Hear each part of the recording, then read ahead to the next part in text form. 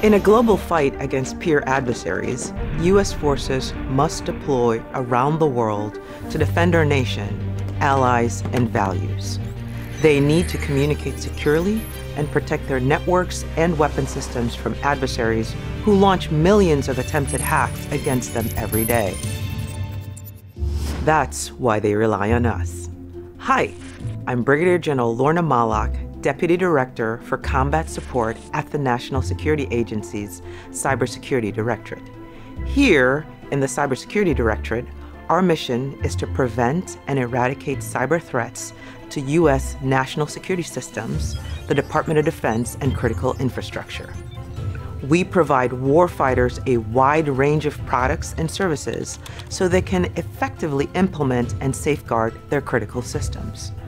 The cybersecurity advisories and information sheets we publish contain recommendations on how to best mitigate identified threats, harden network security, and address vulnerabilities.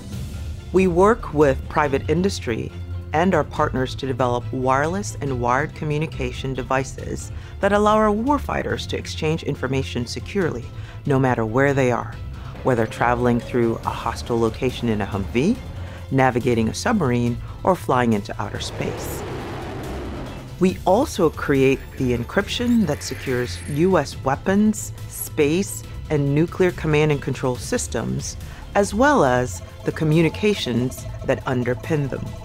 And thanks to the common protocols and standards we establish, our military can securely share information with our allies, NATO, and coalition forces around the world. In cyberspace, the advantage goes to those with speed and agility. Let's work together to make ourselves a more difficult target. Thank you for participating in this year's Cybersecurity Awareness Month.